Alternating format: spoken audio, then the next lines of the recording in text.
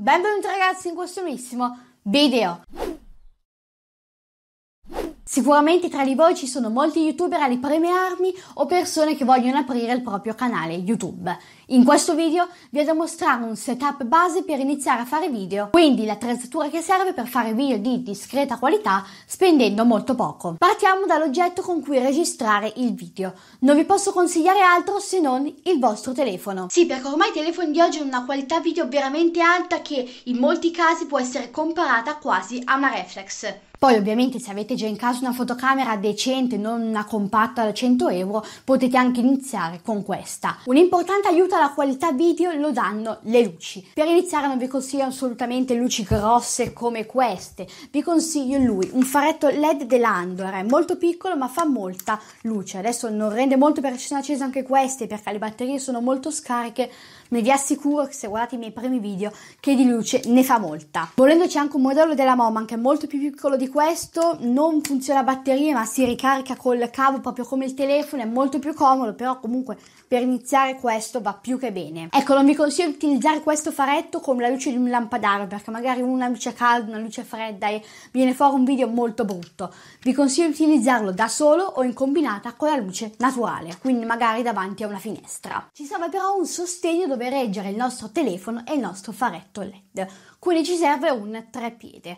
Ecco, per iniziare col telefono non vi consiglio treppiedi grossi come questo con delle mega teste fluidi che magari arrivano anche a 2 metri, cioè potrebbero andare, però per avere qualità decente come questo bisogna spendere almeno 50-60 euro. Se volete un'alternativa più economica ma soprattutto più pratica, vi consiglio lui, il Manfrotto Pixie, un treppiede da tavola alto circa 20 cm, molto piccolo, si può tranquillamente mettere in tasca e niente, devo dire che per iniziare a fare video con il telefono è perfetto. Ecco sì, perfetto, ma se lo volete anche duraturo nel tempo dovete stare attenti a come lo avvitate al supporto che tra poco vi mostrerò, perché sennò succede come è successo a me, che non so se si vede, la parte sopra della filettatura, quindi quella che va a contatto con l'accessorio, si riduce, quindi praticamente questo diventa un pezzo di plastica con delle gambe che si apre perché non si avvita più a niente, quindi state attenti, a me dopo due anni è morto. Qui ha la vite per la fotocamera e quindi per attaccarci il telefono vi serve uno di questi, quindi un adattatore. È una molla dove voi inserite il telefono che poi potete attaccare al cavalletto. Non vi consiglio questa perché su questa potete attaccarci solo il telefono.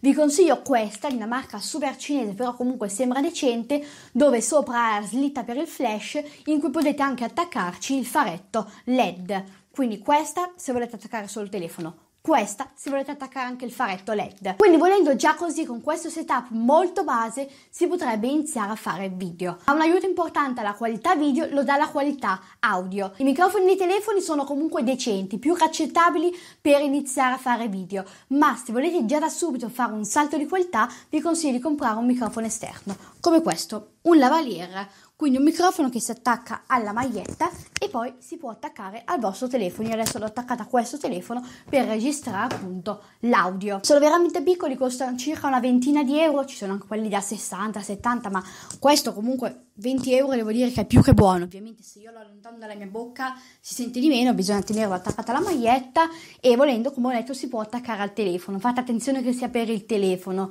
perché alcuni sono per le fotocamere. Quindi questa soluzione per fare video così come li faccio io in interna devo dire che è più che ottima ma se volete fare vlog può essere scomodo avere tutta un cavo, una matassa di cavi del genere in tasca che poi si collega alla vostra mano. In questo caso vi consiglio un microfono della Rode, il Rode Video Micro. Costa un pochino di più di questo qua, costa circa 50-60 euro e si può attaccare sulla slitta dove vi ho detto prima di attaccare il faretto LED. Questo è un pochino più grande, più ingombrante, ma ha una qualità audio veramente ottima e per fare vlog è più che buono. Ma se vi è scomodo fare vlog con questo microfono potete anche tranquillamente tranquillamente utilizzare il microfono del vostro telefono. Quindi ragazzi, io spero che questo video vi sia piaciuto e soprattutto vi sia stato utile se siete youtuber alle prime armi. Scrivetemi pure qua sotto nei commenti se avete dubbi o volete altre informazioni su qualcuno di questi oggetti.